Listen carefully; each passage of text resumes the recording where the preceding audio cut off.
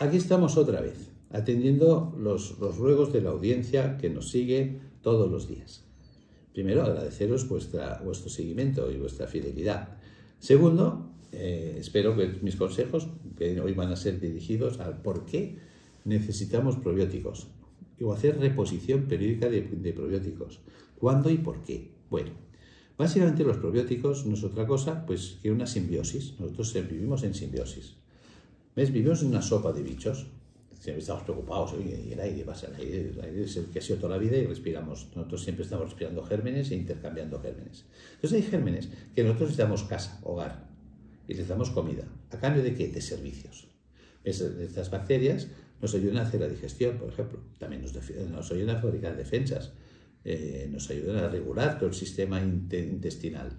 Por lo tanto, hay que entender que nosotros de vez en cuando tenemos que resembrar, porque estas bacterias también, lógicamente, tienen su vida y a veces se nos mueren por, contaminantes, por tóxicos alimentarios, por infecciones que podemos pasar. Por lo tanto, siempre es prudente limpiar el intestino. Fijaros que la limpieza de colon es fundamental. ¿Ves? Nuestras abuelas nos purgaban aceite de ricino, el agua de calabañas, ¿ves? nos ponían lavativas, que eso se ha dejado de hacer y es importantísimo recuperar este hábito doméstico. ¿Ves? Es como si dijéramos que sería bueno limpiar la taza del váter. Seguro que a todo mundo le dice, bueno, claro, pues es que nuestro colon, nuestro intestino es la taza del váter. Por lo tanto, nosotros hemos de hacer limpiezas de colon primavera, verano, otoño, invierno, cada tres meses. Después de haber hecho una limpieza, es bueno reponer la flora bacteriana. Cuando tenemos una infección y tomamos antibióticos, los antibióticos también se cargan la, la flora bacteriana. Siempre después de un antibiótico hay que reponer la flora bacteriana. ¿Vale? De esta manera vamos a mantener la homeostasis intestinal unas buenas digestiones, buenos ritmos intestinales, buenos ritmos de deposición.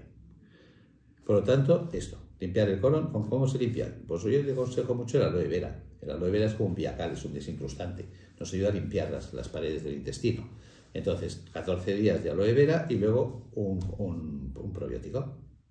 Bien, espero que mis consejos sean utilidad.